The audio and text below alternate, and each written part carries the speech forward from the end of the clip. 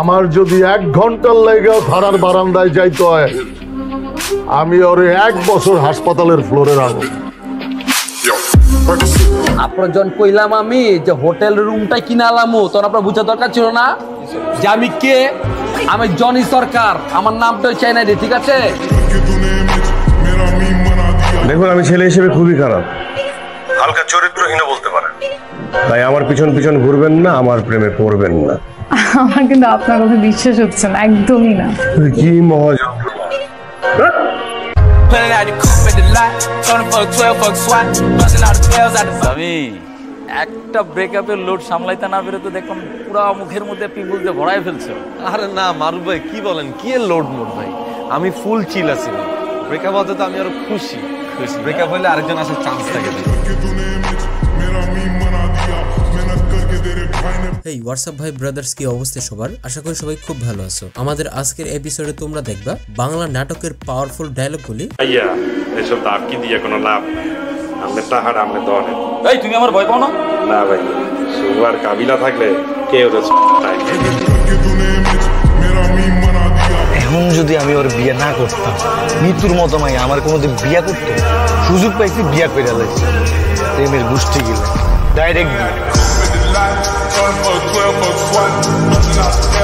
My father is a businessman. My mother is a housewife. After all, business is business.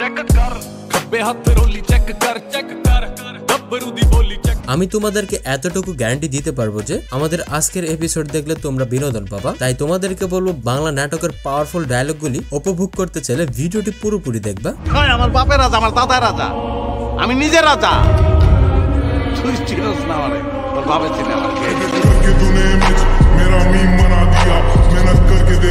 ওই machine কই পাওয়া যাবে রে? Machine? কি এর মেশিন? টাকা গুণনের মেশিন কই পাওয়া যাবে? কহ যত টাকা লাগে কিনবো টাকা গুণনের মেশিন আপনি কি করেন?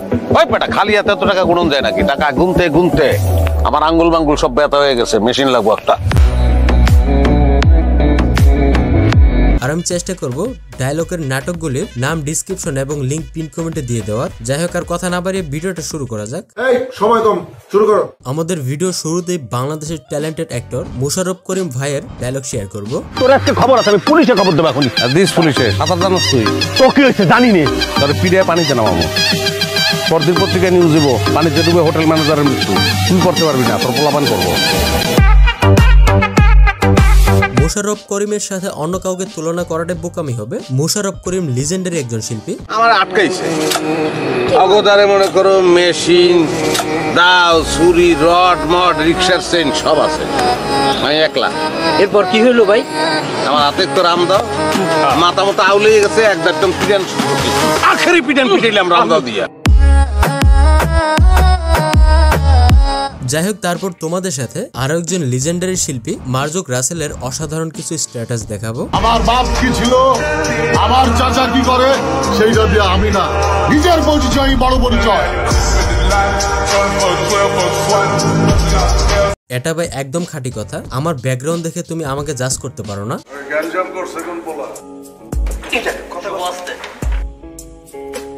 ভাই আপনি কে? এবারে তুই বাইরে চিনস না চিনস তুই পাশা বাইরে? কোন পাশা?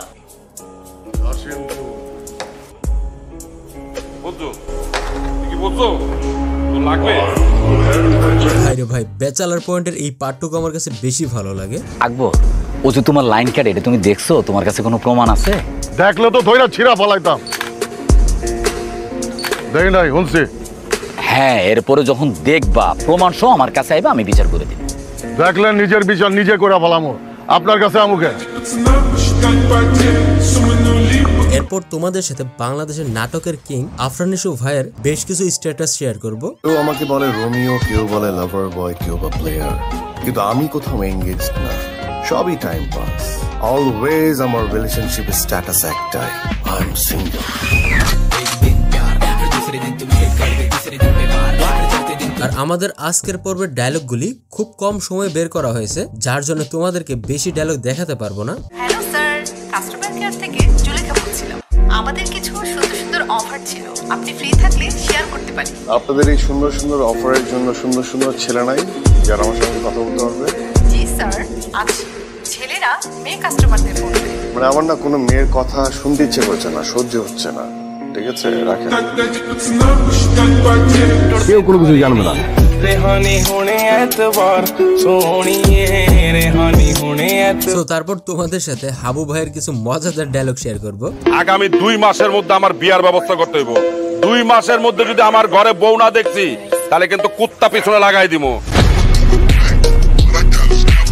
তোমাদের কার কার কাছে হাবু ভাইয়ের নাটকগুলি ভালো লাগে সেটা কমেন্ট করে জানাতে পারো আমাকে।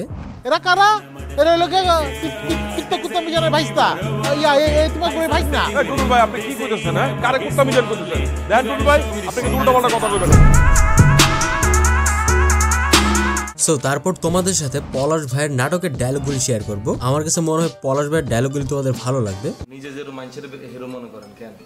নিজে তো মনে হয় হুকুম ছাড়া জীবনে কিছু মারছেন আই নোয়াখালী চেয়ারম্যানের হলাম নোয়াখালী ত্রাস করে অনাছে ঢাকা সহ ত্রাস করতে বুঝেন না? আর লগে কথাই গুণ কই আমরা মনে করি এর নামে পাতা আমরা আপনার বাসার আশেপাশ পুরো ঘেরাও দিছি। ডিলারে আমরা খুঁজতেছি তার নামও বশির আহমেদ আপনার নামের সাথে মিলে গেছে ঠিক আছে? এই ভাই এই আপনার আর কি মানে বলেন এখানে দোতলা আমি থাকি আমার ফ্ল্যাট দোতলা দোতলা ছাড়েন, থাকেন ছাড়েন। তো কি? আপনার বাসায় কিন্তু আমি কিন্তু রেট দিব কিন্তু। বশির ভাই? বশির ভাই? বশির ভাই?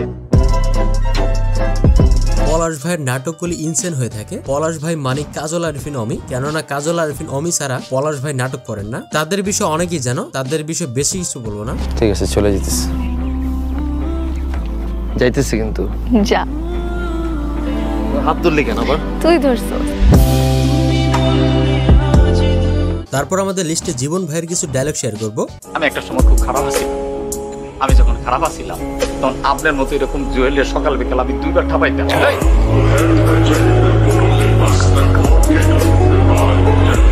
ভাইরে ভাই আমার মনে হয় ব্যাচেলার পয়েন্টের জন্য জীবন ভাই এতটা পপুলারিটি পায়। ব্যাচেলার পয়েন্টে তার অভিনয় ছিল মাথা নষ্ট লেভেলের টিহা বিশ হাজার। কে লেগে দিতাম? এখন তো টিহা দিতাম না।